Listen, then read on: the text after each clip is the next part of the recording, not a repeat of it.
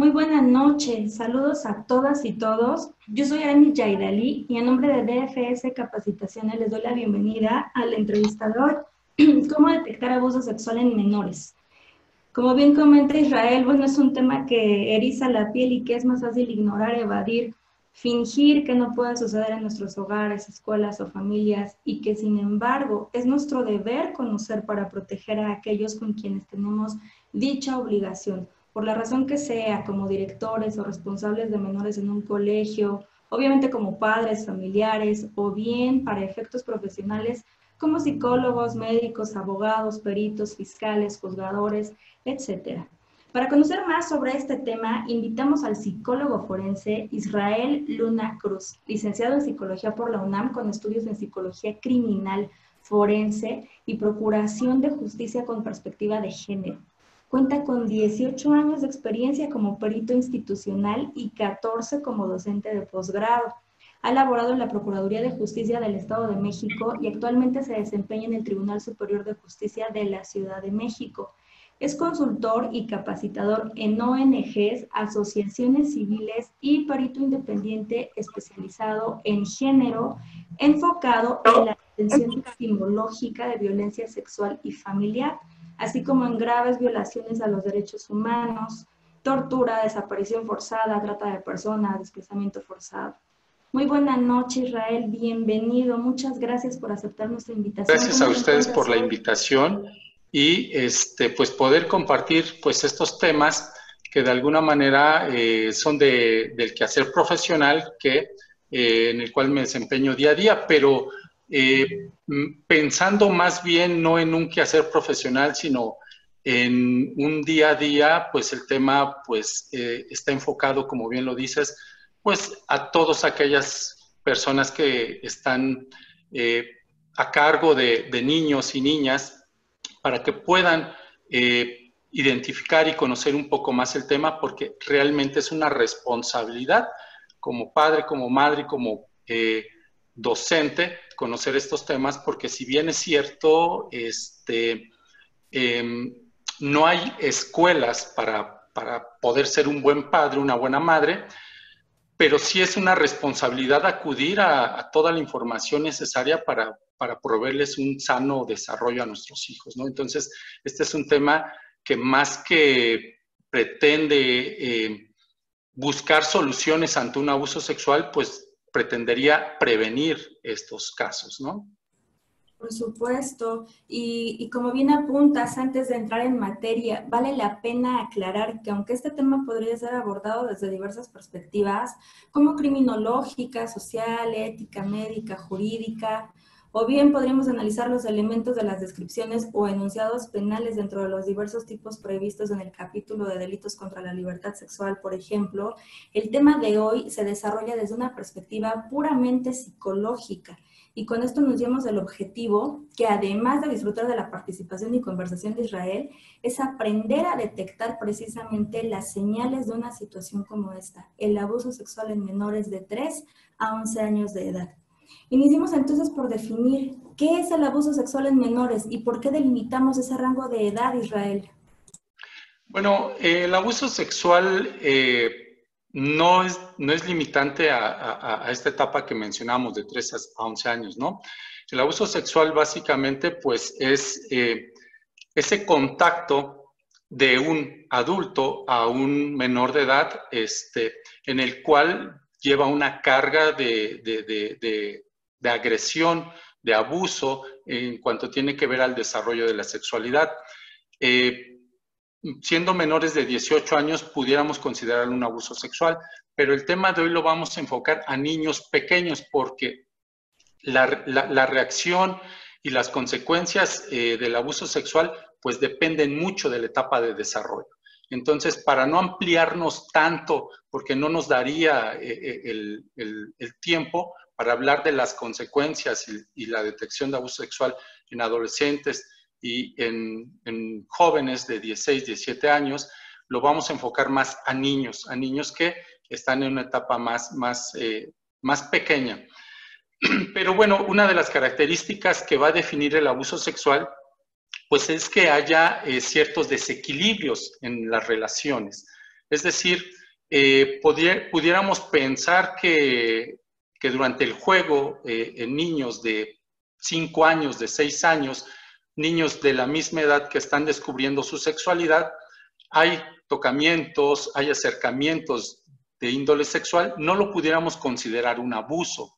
Un abuso es cuando hay un desequilibrio, básicamente un desequilibrio de poderes en cuanto al desequilibrio de conocimiento, es decir, que una persona sí realmente tiene el conocimiento sobre el ejercicio de la sexualidad y el niño no.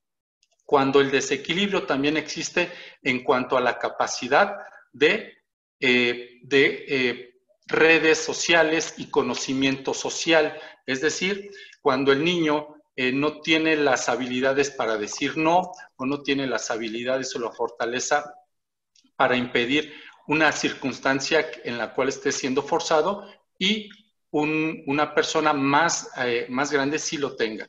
Entonces, dentro del abuso sexual en el área de psicología, pudiéramos catalogar que no es una regla, pero sí cuando hay una, hay una edad de cinco años de diferencia, pudiéramos decir que ahí hay un abuso sexual, inclusive entre menores, ¿no? Es decir, estaríamos pensando entonces que un niño, una niña de 10, 11 años estaría agrediendo a un niño, una niña de 5, 4 años, se consideraría un abuso sexual también, ¿sí? Entonces, básicamente tendría que ver con este desequilibrio de poder, no necesariamente porque eh, es multifactorial, tendríamos que pensar también en todos los, en, toda en todos los contextos de desarrollo de las personas, pudiéramos pensar que hay, que hay eh, adolescentes que tienen unas eh, eh, herramientas vastas en el aspecto sociales y psicológicos y aún así tener cierto equilibrio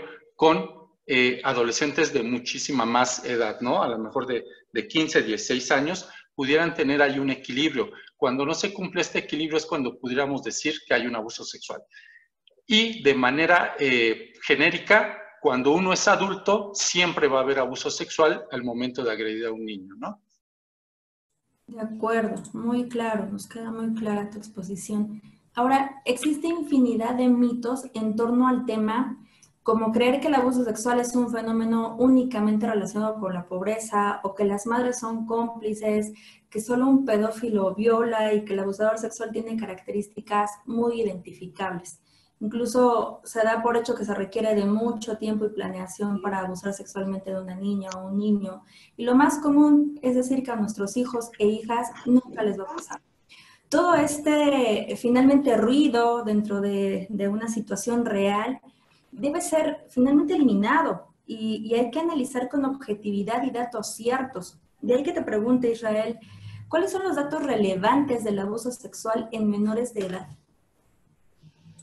Eh, bien es cierto lo que mencionas, hay muchos, eh, muchos mitos o mucha malinformación o creencia acerca del abuso sexual infantil. Eh, datos que son realmente relevantes o importantes es que el abuso sexual infantil pues es un problema universal y complejo y en el cual pues resulta, esto es resultado de la interacción de varios factores, tanto individuales, familiares, sociales y culturales lo cual nos lleva a, determinar que el abuso sexual sucede en todos, en los estratos sociales, educativos, religiosos. Eh, sin embargo, al ser un tema que muchas veces eh, daña y estigma no nada más a la víctima, sino a todo el, todo el núcleo familiar, pues algo que sí es cierto es que eh, no suele ser tan denunciado como, como, como tendría que ser, ¿no? Muchas veces, cuando el abuso sexual es dentro del núcleo familiar, se trata como de negociar. Pero el abuso sexual dentro del ámbito familiar no es tan común como suponemos. Realmente los niños, nuestros hijos, nuestras hijas, están, eh, están siendo abusados fuera del hogar sí existe el abuso sexual dentro del hogar, que pueden ser eh, eh, el papá, la mamá, algún tío, algún primo, pero es, estadísticamente es como el 30%. La gran mayoría de los abusos sexuales se da por vecinos, por profesores, por cuidadores fuera del hogar, por este, eh, conocidos y también un gran número por gente desconocida. Entonces, ese es uno de, es uno de los, de los eh, mayores datos que, eh, que, están como en cifras negras, ¿no? Que el abuso sexual en realidad se denuncia, pero es poco, poco las denuncias y mucho se llega a tratar como de resolver dentro, de, dentro de los ámbitos más personales.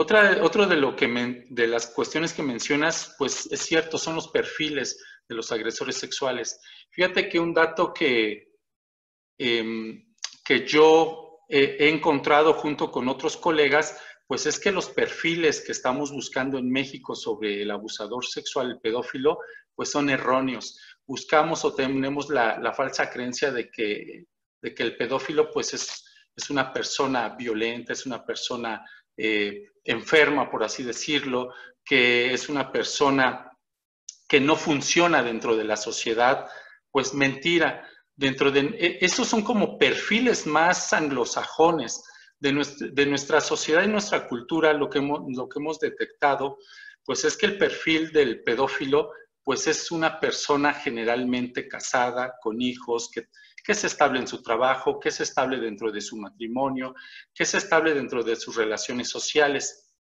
pero que tiene fuertes eh, presiones eh, sociales y de estrés y altos sentimientos de soledad y vulnerabilidad. Eh, es decir, un pedófilo generalmente es una persona emocionalmente muy débil, muy sensible y bajo todas las circunstancias que lo rodean, tienden a llegar a cometer estas, estas cuestiones eh, delictivas. Entonces, algo que es importante, pues, saber, pues, que prácticamente cualquier persona puede llegar a, ser un agresor sexual si es que no cuenta con los recursos psicológicos de afrontamiento para solución de conflictos. Ajá. Es decir, eh, muchas de las personas que agreden sexualmente, vuelvo a decir, son funcionales, pero tienen bajos, eh, bajos niveles de tolerancia a la frustración y pocas habilidades para solucionar problemas. Eso es básicamente una de las características que, pudieran definir al, agresor sexual. Otro de los mitos también que, hay acerca de, o de los datos que hay acerca del abuso sexual, muy, muy importantes, es que eh, los niños o niñas que son abusados sexualmente de grandes van a ser agresores sexuales. Es un mito, pero no está tan alejado de la realidad. Es decir, no por el hecho de que un niño o una niña haya sido agredido sexualmente, en su edad adulta va a agredir. No, pero sí hay una correlación directa de los agresores sexuales que, eh, que tiene que ver con que de pequeños sí sufrieron un abuso sexual o estuvieron o tuvieron grandes exposiciones a pornografía, ajá, o a temas, eh, temas Otra de, las circunstancias que pudiéramos eh, tratar de, de desmitificar acerca del abuso sexual, pues es que un abuso sexual siempre va a generar eh, alteraciones y daños en las víctimas, y no es cierto. Puede llegar incluso hasta un 30% de los niños a no generar y desarrollar ninguna sintomatología, ¿no? Es decir, no necesariamente un abuso sexual va a dañar desde el aspecto psíquico a un niño. Muchas veces esto tiene que ver en el cómo es que se desarrolló el abuso y el cómo es que ese niño eh, genera herramientas para afrontar el abuso. Entonces también eh, es, un, y eso es muy importante porque vamos a hablar de eso en el, día de hoy, de que no necesariamente un niño abusado va a generar algún síntoma desde el punto de vista psicológico, ¿no? Entonces, son, son datos muy, muy, muy importantes que eh, tienen que ver con nuestra, con nuestra cultura y nuestra sociedad eh, mexicana o latinoamericana que es diferente a todos estos datos a datos eh, anglosajones o europeos, ¿no? De acuerdo, y es bien interesante esto que mencionas de los perfiles, porque creo que tenemos la tendencia precisamente a clasificar, a catalogar, a, definir una máxima de este es el tipo de persona que delinquiría, estas son sus características. Es más, si nos vamos unos años atrás con César Lombroso, ¿no? Hasta tiene estas características físicas, el que te puede robar, el que te puede violar, el que te puede secuestrar. Finalmente, efectivamente, todo, todo esto es casuístico y además tiene mucho que ver con la sociedad en la que se está viviendo y en la que se está gestando la conducta. Ahora, sabemos que cada persona podría ser representada en su aspecto psíquico por un triángulo en cuyos vértices podemos encontrar el pensamiento, el sentimiento y en la conducta. Tú ya nos adelantaste que no todas las personas manifiestan una afectación o una reacción. Pensando en las personas que sí lo hacen o en el común de quienes sí, sí tienen alguna reacción o alguna manifestación, ¿en cuál de estos tres elementos, en, en cuál de estas tres vértices se manifiestan las consecuencias de un abuso sexual? Eh, bien, mira, las consecuencias que, eh, que van a afectar eh, a las personas, a los niños, a las niñas, pues realmente afectan en todas las áreas de su vida, ¿no? incluso estas afectaciones pueden perdurar hasta la edad adulta, pero definitivamente afectan todas las áreas de la vida. mucho dependerá el los procesos individuales, los procesos cognitivos, los procesos de pensamiento de cada uno de estos niños y niñas, qué área será la que más se afecte. Es decir, unos tendrán mayores manifestaciones en, el área del comportamiento, otros en las cuestiones de las emociones, sentimientos, otras a nivel de pensamiento. Eh, esto, es, eh, eh, esto es, digamos, de manera muy caso por caso. Que esto tiene que ver, vuelvo a insistir con lo que yo mencionaba, tiene que ver con los factores individuales, familiares, culturales, sociales en cuales se, se ha desarrollado ese niño esa niña. Pero sin duda alguna, lo que salta a la vista para todos es el área de la conducta. Ajá. Y pensando precisamente que eh, este tema que abordamos eh, no es un tema eh, especializado para, personas que, se dedican a esta labor, sino para que cualquiera de nosotros tengamos estas habilidades para detectarlo, lo vamos a poder ver de manera más fácil en el comportamiento, en la conducta de los niños. ¿sí? Y eh, esto simplemente se debe a que nosotros como padres o como cuidadores o como docentes que estamos frente a niños, pues realmente los conocemos, conocemos cómo se comportan, cómo actúan y cuando hay algún cambio, pues es que algo está sucediendo en el niño, no necesariamente negativo, pero algo está sucediendo en ese niño. Entonces, si eh, la primera alerta está en el área de la conducta, bueno, podemos ya posteriormente indagar o acudir precisamente con un especialista a que indague más o evalúe más estas áreas sobre la cuestión de la afectividad, la cuestión del pensamiento, la cuestión de los procesos sociales y la interpretación que hacen acerca de, este evento que están viviendo.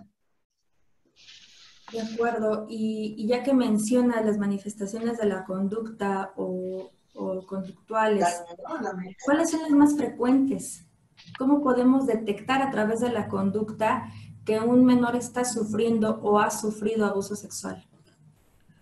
Eh, mira, no, hay un, no existe un patrón de síntomas único. Eh, puede ir desde la presencia de una extensa variedad de síntomas, vuelvo a insistir, de todas las áreas eh, de desarrollo, hasta lo mencionaba yo, hasta no tener ningún síntoma no hay un, no hay, no hay un patrón, no hay un cuadro que, que existe, que existe que defina un, este, un comportamiento o que define un perfil de, de, una víctima de abuso sexual. Sin embargo, sí existen eh, algunos síntomas que aparecen reiteradamente eh, en niños y niñas abusadas sexualmente. Y estos síntomas, a su vez, van a variar dependiendo la etapa de desarrollo en la que se encuentren. Etapa de desarrollo me, refiero a la edad del niño.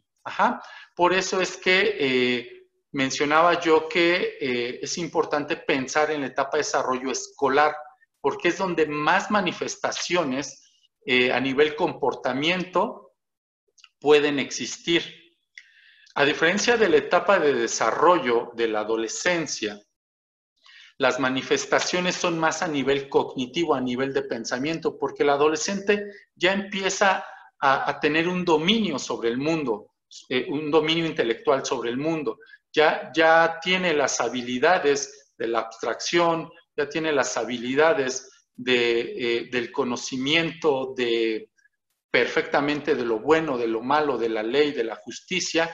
Y entonces, en estos, en estos niños, eh, en estos menores de edad eh, adolescentes, es más fácil que ellos manifiesten verbalmente que están viviendo un abuso sexual.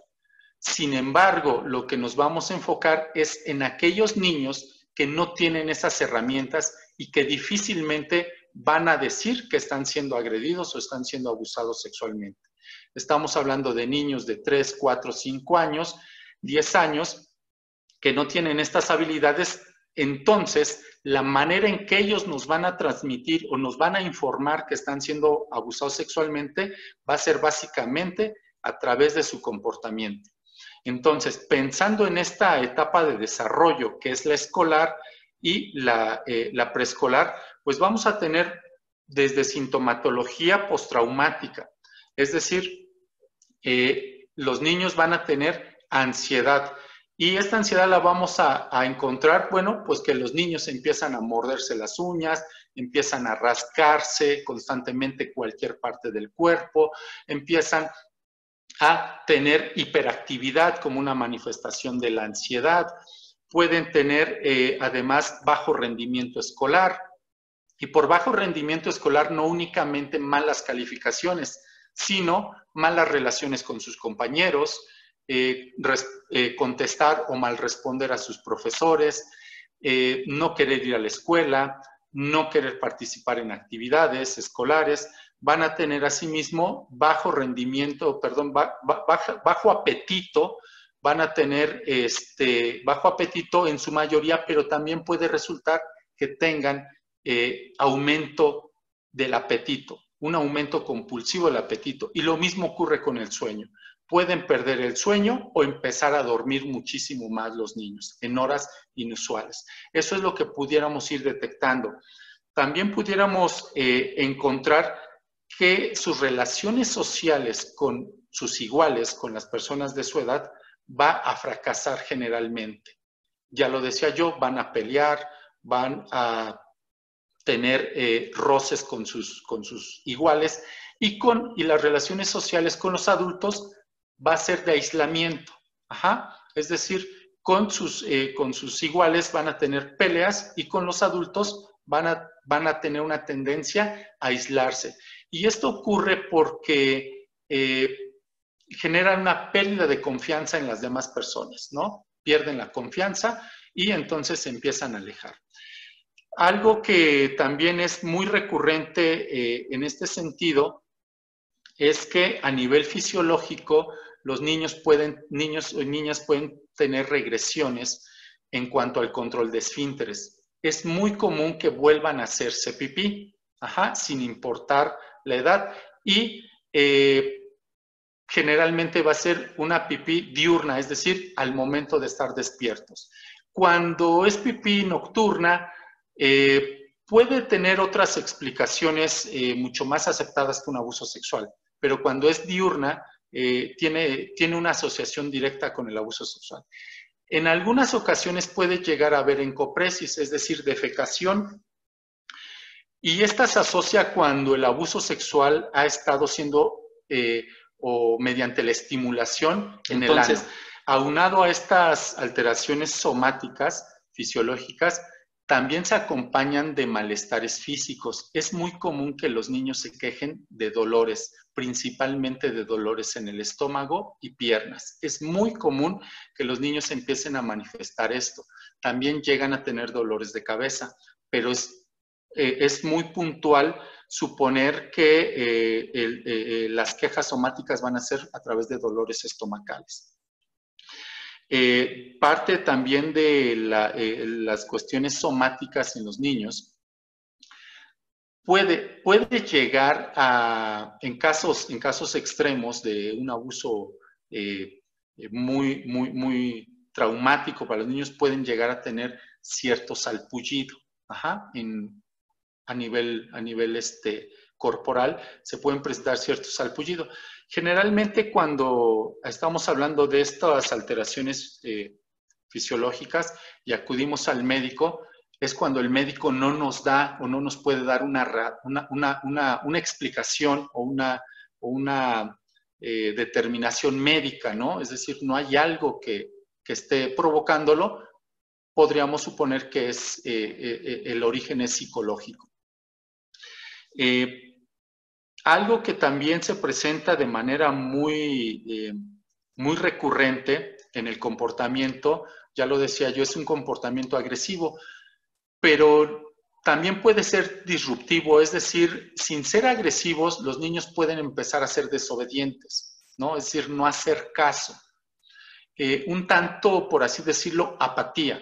Empiezan a tener apatía y a, desobedecer a los papás, a desobedecer a los papás, a las mamás, eh, a no, a perder, eh, si tenían ciertas reglas, no sé, alimentar a la mascota, recoger su o, asear su habitación, eh, dejar de hacerlo, empiezan a desobedecer por esta cuestión de tener cierta apatía ante, pues, ante sus actividades cotidianas.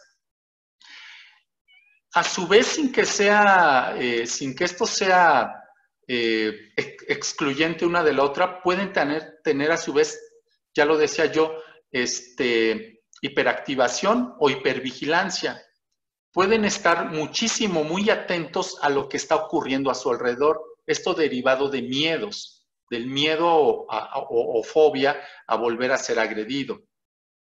Este, o, que, o, un miedo a que pueda ser dañado de alguna manera.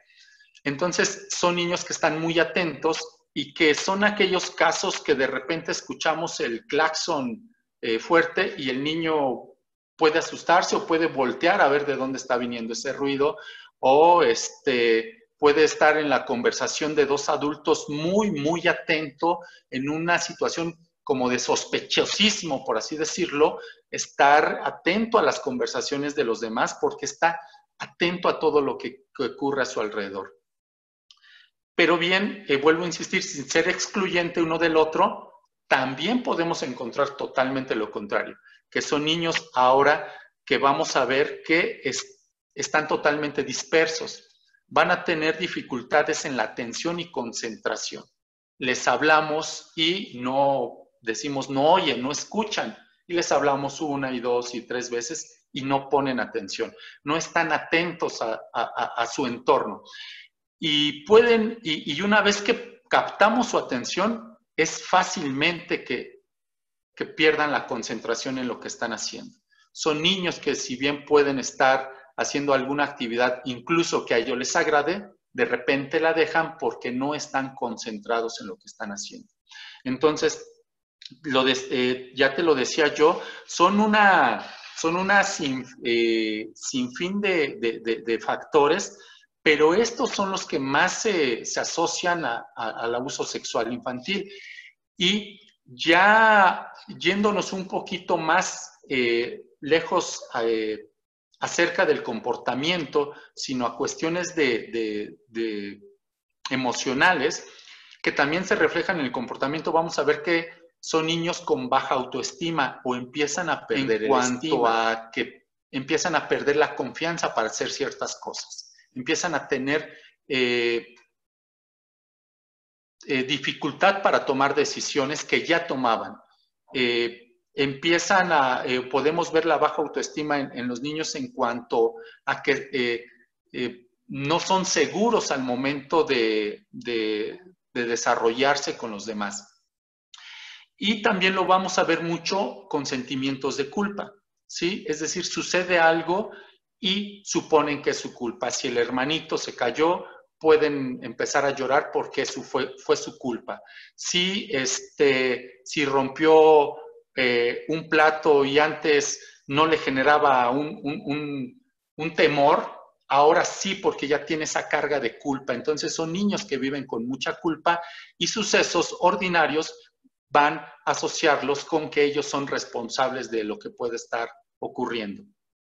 Y, este, y bueno, eh, hay, otra, hay, otra, hay otras características en los niños abusados sexualmente, pero vuelvo a insistir, son de orden más cognitivo, de orden más del pensamiento, emociones, que es más, eh, es un poco más complejo detectar y determinar, pero esto a nivel conducta, eh, cualquier persona lo podemos estar eh, observando, chequeando conforme al desarrollo de los niños y podemos entonces suponer que hay algo que le está ocurriendo al niño. Ojo, aclaro, eh, que el niño presente algunas de estas características no significa que el niño ha sido abusado sexualmente.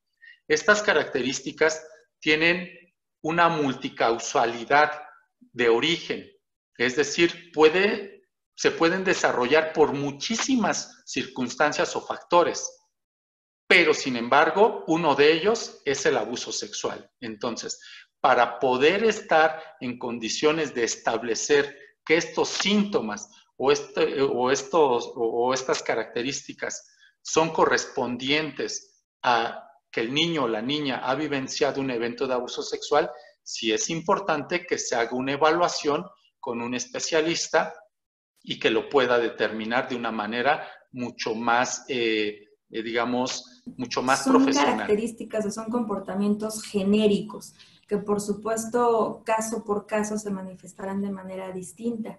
Ahora, dentro de este género de comportamientos, eh, estamos hablando tal cual, ¿no? Valga la redundancia en general, el comportamiento de un niño que ha sufrido abuso sexual en todo ámbito y, y en adelante en su contexto.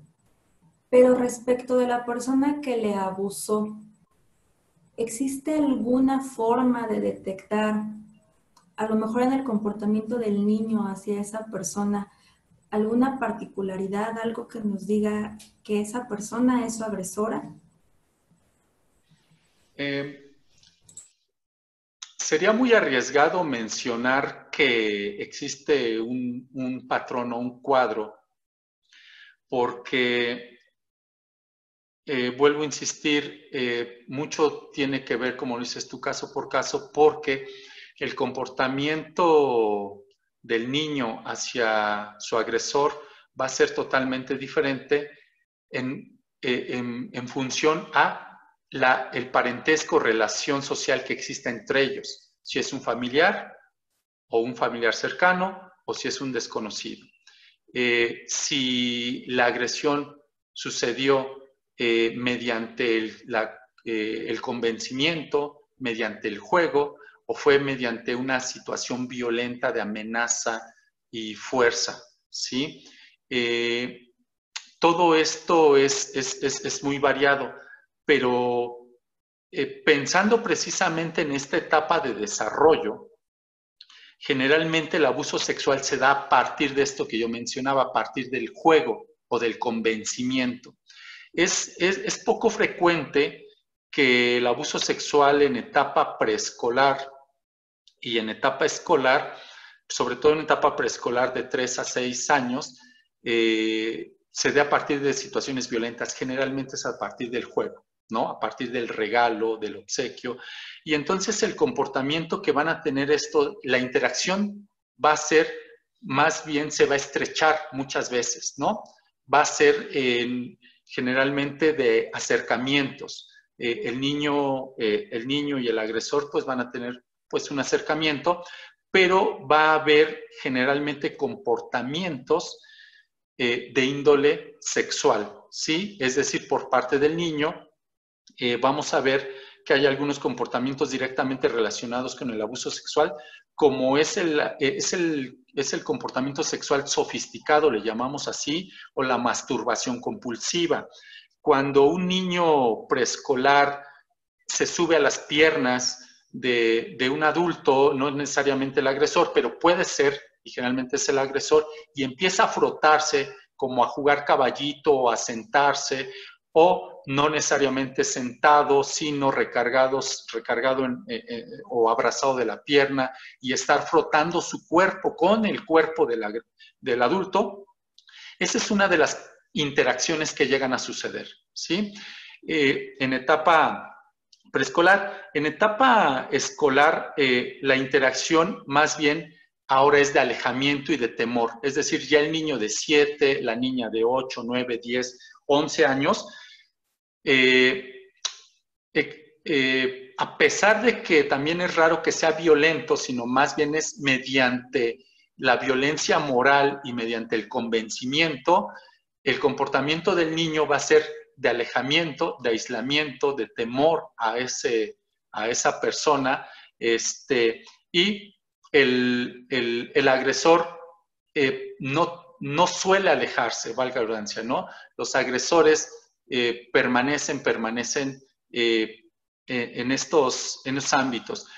una de las características del, del, agresor sexual, pues es que su comportamiento resulta ser cada vez más osado, más eh, eh, se va intensificando en cuanto a los niveles de, daño, de, violación hacia el, transgresión hacia el cuerpo y eh, es difícil que, que, un agresor sexual se detenga o pare, ¿no? Entonces, es una de las de las interacciones que pudiéramos llegar a ver en niños preescolares y en niños escolares.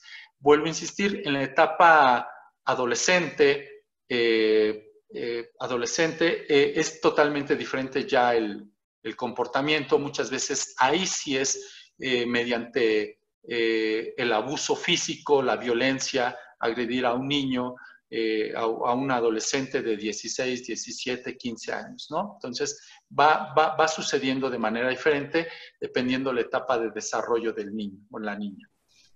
De acuerdo.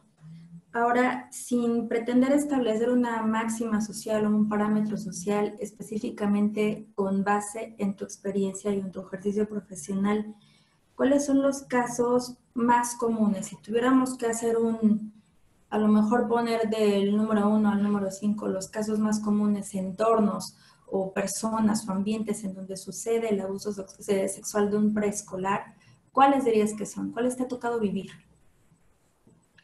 Eh, mira, te lo decía yo, generalmente eh, se da eh, en el ámbito escolar, en el ámbito escolar.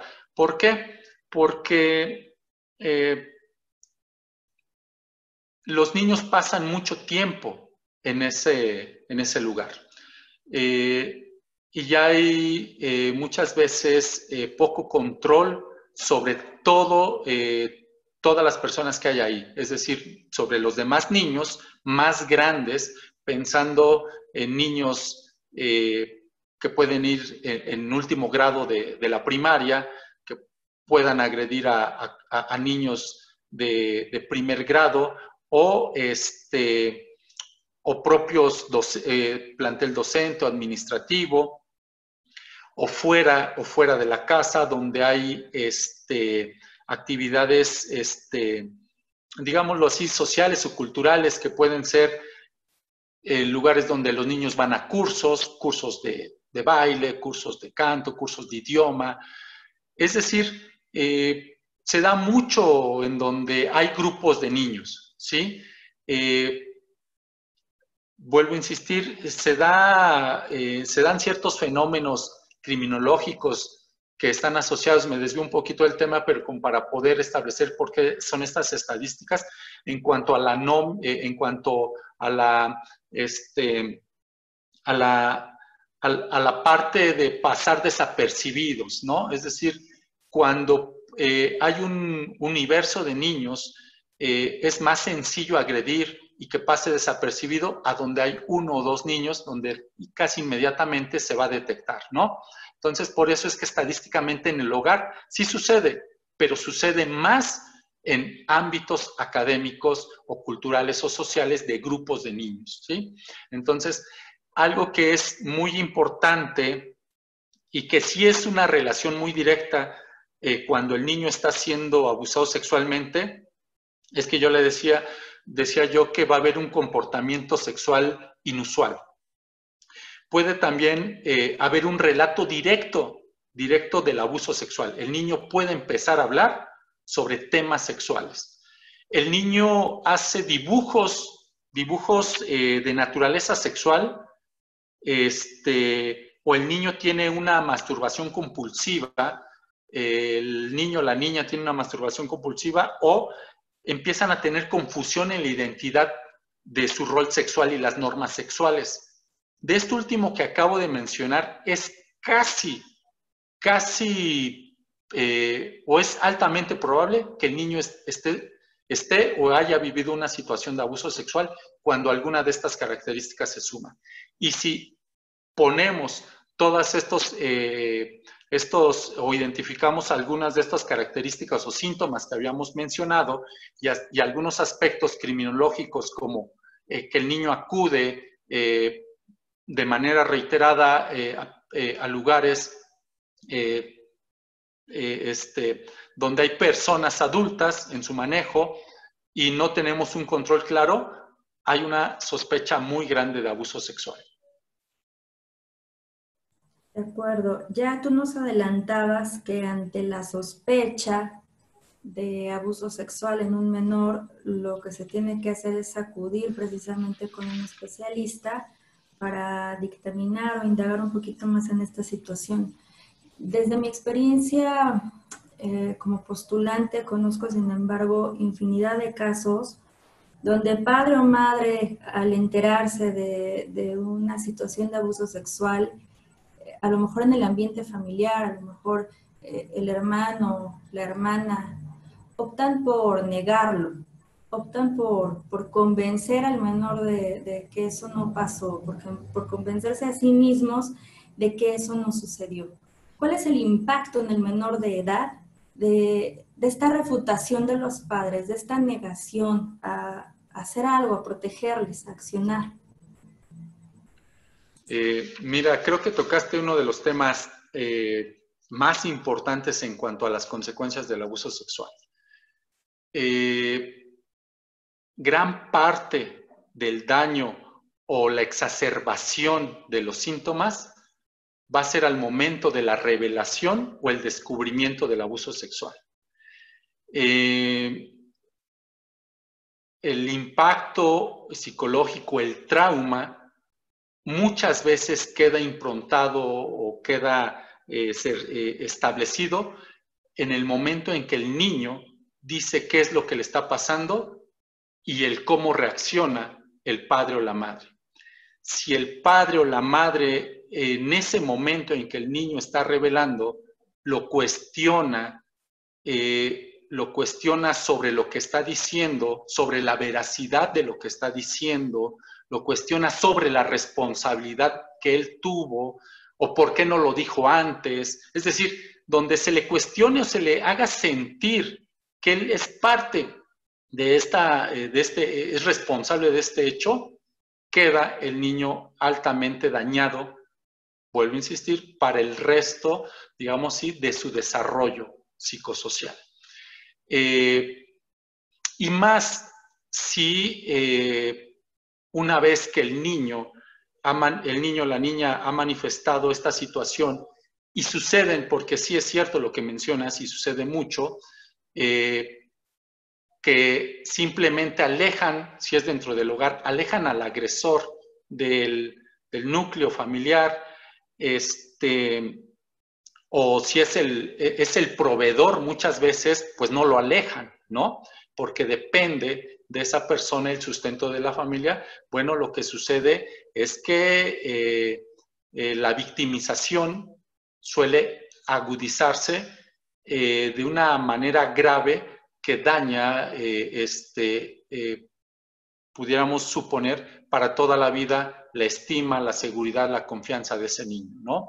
Entonces, algo que es muy, muy, muy importante al momento en que uno descubre eh, un, probable caso de abuso sexual, pues es evitar todo esto, ¿no? Es tomar eh, la información con la mayor serenidad posible, aunque nos cueste mucho trabajo porque son temas que, que, dañan, eh, decía yo, no nada más a la víctima, sino a todo el entorno, pero sí tomarlo con la mayor serenidad posible, creerle al niño o a la niña desde ese momento, eh, acudir antes de tomar alguna decisión importante eh, respecto a lo que se, se, va a hacer, pues es acudir con los especialistas, ¿no? Acudir con un psicólogo, con un médico, con un abogado, para que puedan orientarle sobre lo que está sucediendo y sobre lo que va a suceder,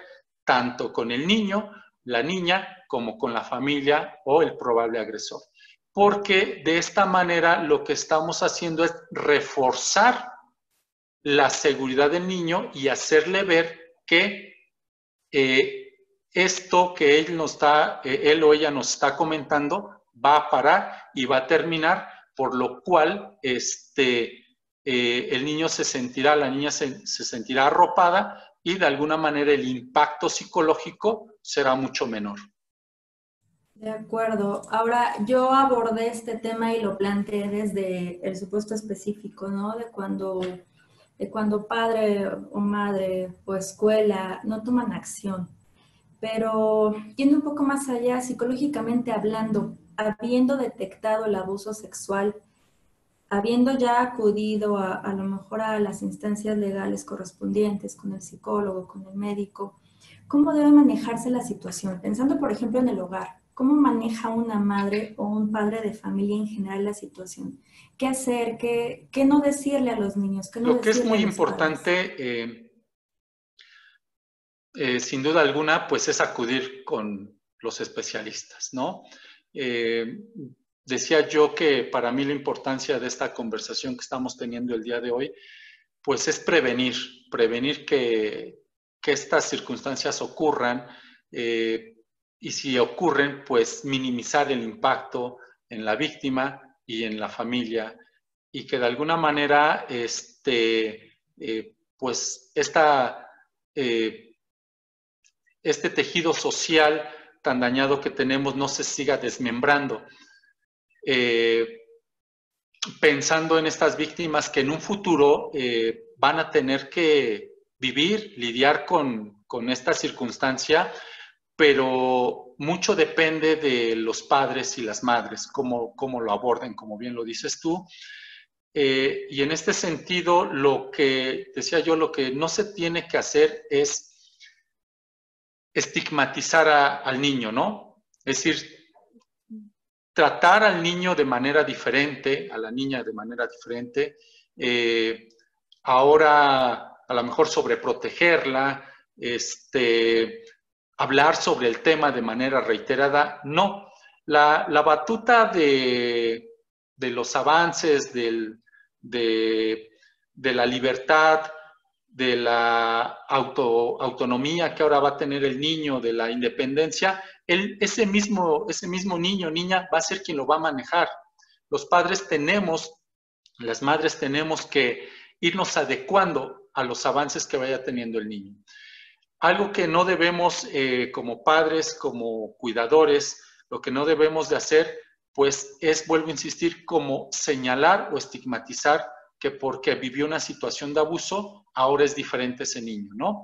Esa niña, ese niño eh, vivieron una situación de violencia, pero eh, con un tratamiento psicológico adecuado para él la familia, puede restablecer o reestructurar todos sus lazos psicosociales para que pueda tener un desenvolvimiento pleno. Entonces, lo más, eh, a lo mejor suena un poco, eh, poco útil, por así decirlo, lo que voy a decir, pero lo más adecuado es acudir con un profesionista. Es decir, eh, muchas de las cosas que podemos hacer no están a nuestro alcance, sino es con la asesoría profesional. De acuerdo, excelente. Yo al inicio mencionaba dentro de tu enorme trayectoria profesional que tú eres perito psicólogo forense. ¿podrías explicarle un poco a nuestro auditorio qué es ser un, psicólogo forense y particularmente cómo dictaminas el abuso sexual en menores? Ok, eh, el psicólogo forense, eh, de una manera muy coloquial, lo que hace es evaluar, analizar este, fenómenos psicológicos como este, como el abuso sexual, eh, como cualquier, cualquier comportamiento delictivo, ¿sí? un abuso sexual, la violencia familiar, eh, este, un, homicidio. Eh, todo eso lo evaluamos de una manera clínica, encontrando toda la sintomatología, todos los procesos eh, que están atravesando las víctimas. También evaluamos a los, a los agresores, a, las personas que están eh, vinculadas a un proceso, para poder determinar patrones, patrones en ellos y, eh, digamos, consecuencias en esos, en esos patrones de comportamiento. Todo esto con la finalidad de ayudar a llegar a una, a una sentencia lo más justa posible. Entonces, lo que hace básicamente eh, eh, la psicología forense es con técnicas eh, y metodologías muy específicas, asociamos hechos delictuosos con eh, los procesos psicológicos. Nuestros procesos psicológicos son el pensamiento, la memoria, la atención, la concentración, etc. Es decir, tratamos de darle una explicación psicológica a los fenómenos legales o jurídicos que hay. Eh, en casos de abuso sexual, eh, ¿cómo es que podemos determinar? Es muy importante hoy en día eh, velar por los derechos, los derechos eh, de los niños, las niñas, los adolescentes, en cuanto a una vida libre de violencia. Y entonces, en ese sentido, el psicólogo forense tiene la obligación de evaluar videograbando, es necesario videograbar la evaluación aplicando una serie de, de instrumentos que son conocidos como test psicológicos y una entrevista muy profunda que tiene que ver con todo el desarrollo de vida de ese niño y de su familia para poder este, determinar justo lo que yo decía, si pensando si el niño tiene problemas del sueño, problemas alimenticios, problemas en su conducta, en su comportamiento, si eso está asociado con un evento delictivo o está asociado con su etapa de desarrollo, que puede ser que está haciendo la transición de una edad a la otra, o puede estar asociado pues a cualquier otro fenómeno familiar que pudiera ser la muerte de un ser querido, pudiera ser la llegada de un nuevo hermanito, la, la separación de los padres, etc. Menciono yo que esta evaluación se hace siempre videograbando porque cuando se hace la evaluación de un, menor de edad, eh, tendría que hacerse solo uno, una, única vez. Eh, sería incorrecto evaluar a un, a un niño o una niña dos, tres, cuatro veces por diferentes psicólogos forenses. Lo ideal es videograbarlo porque ya teniendo una, una videograbación, y teniendo todos los cuestionarios, todas las pruebas psicológicas y la historia clínica, los apuntes necesarios, todo eso puede pasar en un proceso legal de mano en mano para los demás peritos, sin la necesidad de invadir nuevamente a los niños o niñas o adolescentes. Entonces, esto es importante y estas evaluaciones realmente requieren un trabajo muy, muy complejo porque requieren de varias sesiones. Son evaluaciones que pueden eh, requerir este, 8 o 10 horas con el niño, pero no son continuas porque pues ni un adulto aguanta eh, una evaluación de tanto tiempo, ¿no? Entonces, son sesiones muy, muy, muy, este, eh, muy breves, una hora, una hora y media, y continuar sin desgastar al niño. Este, y sobre todo tiene que ser eh, una evaluación con, eh, sin duda alguna, con estos conocimientos en psicología forense, pero principalmente son, con conocimientos sobre desarrollo infantil. O sea, es muy importante que eh, los especialistas que atiendan estos casos, pues sean conocedores de las etapas de desarrollo y evolución infantil. De acuerdo. Aquí seguramente los abogados que nos estén siguiendo ya deben estar eh, pensando en mil, en mil dudas, en, en mil situaciones, ¿no? A mí, a mí me surge una duda. Este tema que, que, tú abordas y esta explicación de una hora seguramente es profundísimo, seguramente tiene mucho que, eh, que enfatizar, ¿no? Sobre todo pienso que tanto padres de familia como escuelas, jardines de niños debieran recibir capacitación en torno a esta materia.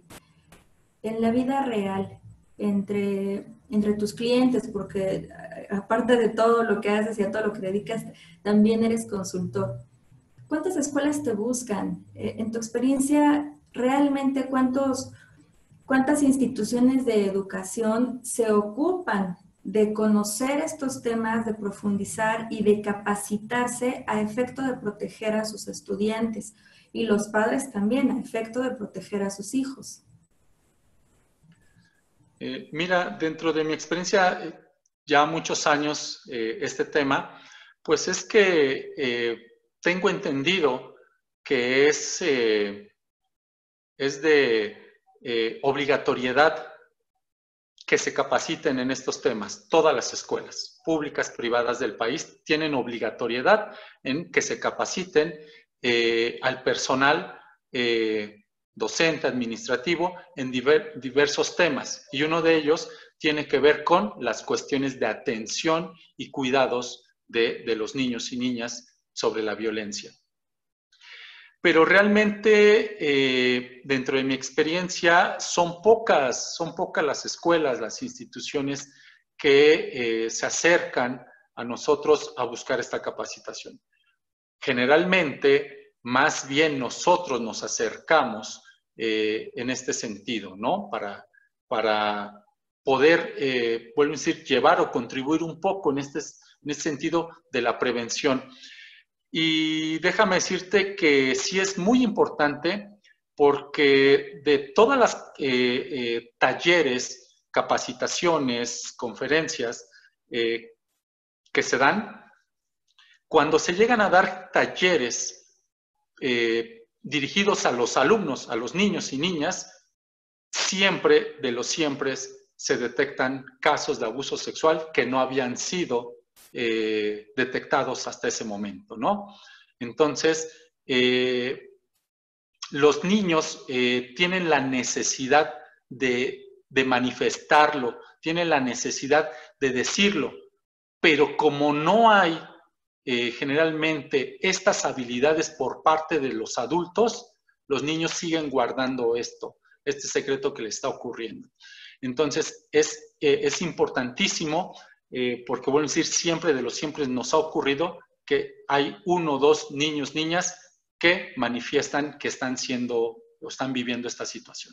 Entonces, lamentablemente, es poca la, la, la, este, eh, dentro de mi experiencia, poca, poco el acercamiento que se da.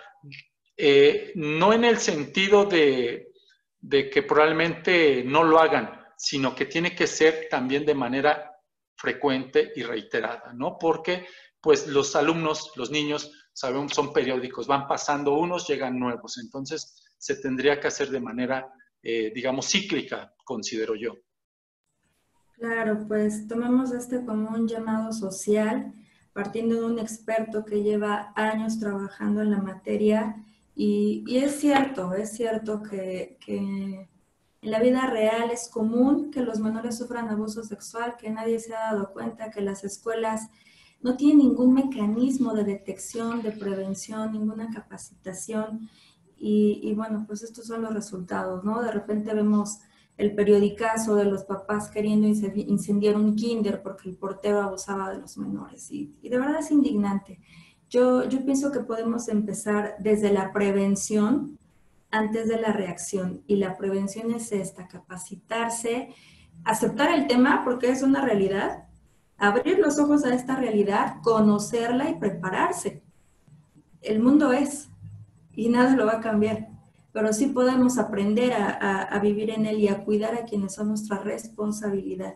Isra, eh, ay, ya te, ya, yo siempre me extiendo con ustedes, es que es tan maravilloso platicar y, aprender de sus experiencias.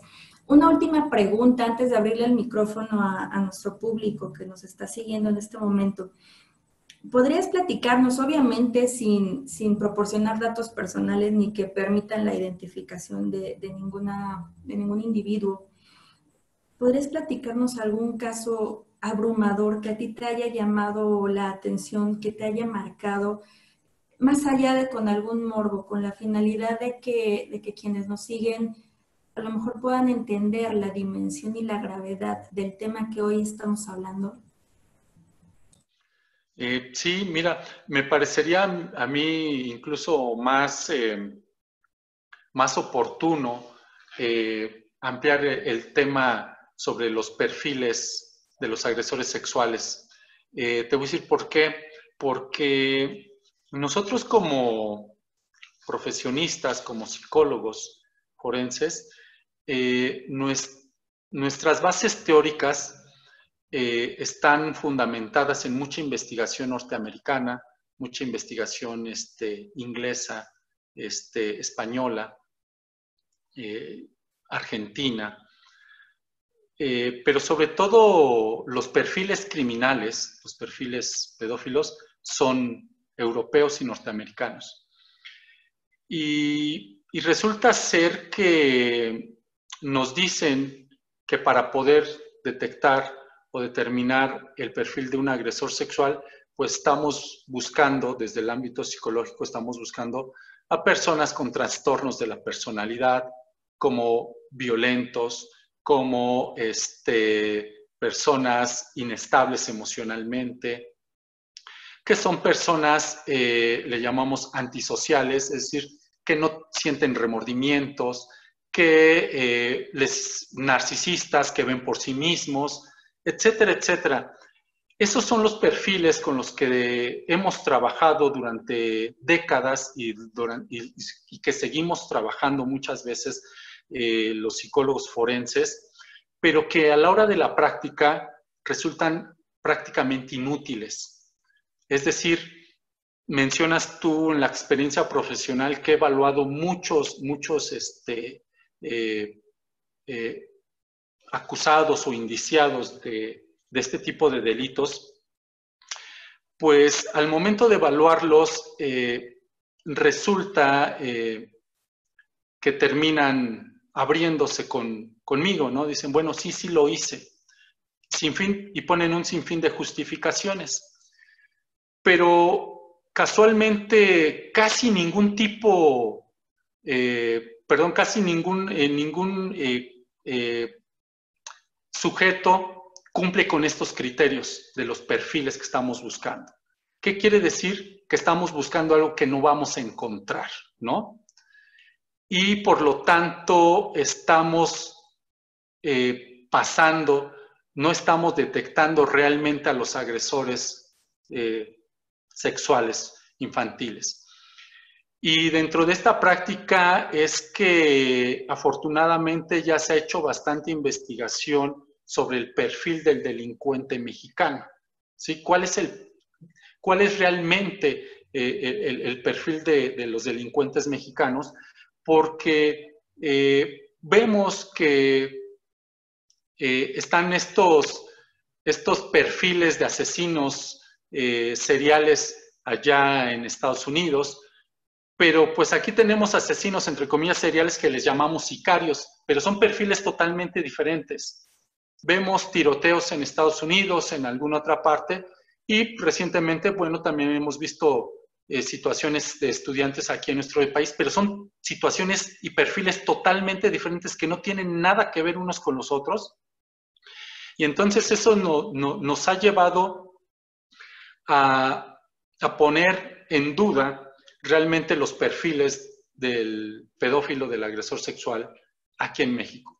Y por lo tanto yo te decía que al momento de evaluarlos terminan siendo personas muy sensibles, a diferencia de lo que buscamos, ¿no? Este, buscamos antisociales, buscamos ególatras, son personas emocionalmente sensibles, son personas con eh, una vida, vuelvo a insistir, aparentemente funcional, con años de trabajo eh, ordenados, pero son vacíos en lo emocional, tienen vacíos emocionales porque pues eh, hay carencias económicas, hay discusiones o peleas con la pareja, eh, su vida sexual no es tan satisfactoria, etc.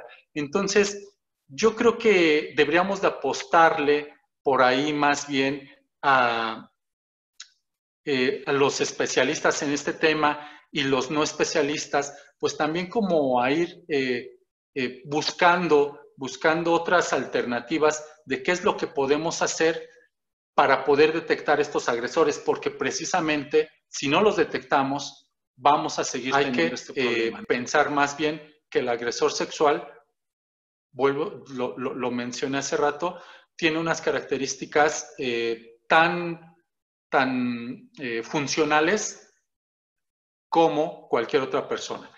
Ya en la evaluación psicológica es donde detectamos ciertas alteraciones que llevan a cometer estas conductas. De acuerdo, pues sí, para tomarlo en cuenta, para que de verdad todos en casa eh, pues lo tengamos claro, ¿no? Que no esperemos encontrar, como dices, al, el delincuente malvado, antisocial, eh, morboso, que es lo que seguramente viene a nuestra mente cuando, cuando hablamos de una abusador sexual. Muchísimas gracias, de verdad. Eh, el valor de lo que tú has hecho esta noche es, es incalculable para todos los niños que a través de tus palabras y a través de, de tus experiencias que nos compartes, a lo mejor van a tener un poquito más de atención, un poquito más de protección. Y si quienes hoy nos siguieron se encargo de ir más profundo, bueno, pues ya lo saben, aquí está Israel compartiéndonos su conocimiento. Israel, muchísimas gracias nuevamente. Eh, no, pues gracias a ti, gracias a, todos los que hicieron posible esto y pues gracias a los que, que nos ven y la idea es que eh, pues toda esta información pueda ser replicada y compartida y que finalmente eh, yo soy un creyente de que eh, las, ciencias deben de estar al servicio de los demás y no para servirnos de ellas. Entonces, esta parte de la psicología, pues que sea una psicología para todos, que todos sin tener un, un, estudio, un título de psicólogo, podamos desarrollar la psicología. De alguna manera todos somos psicólogos eh, este, eh, y podemos eh, saber utilizar ciertas técnicas, ciertas herramientas, pues para tener un, un, mejor desarrollo para, para nuestros niños, nuestras niñas y por supuesto pues para la composición de este tejido social tan deteriorado en el que vivimos hoy día. Perfecto, maravilloso. Pues nuevamente muchas gracias a ti, a las personas que nos siguen, a Damián, a todo nuestro maravilloso equipo que hacen esto posible. Muy buena noche, nos vemos próximamente. Hasta pronto, Israel. Hasta pronto, buenas noches. Buenas noches.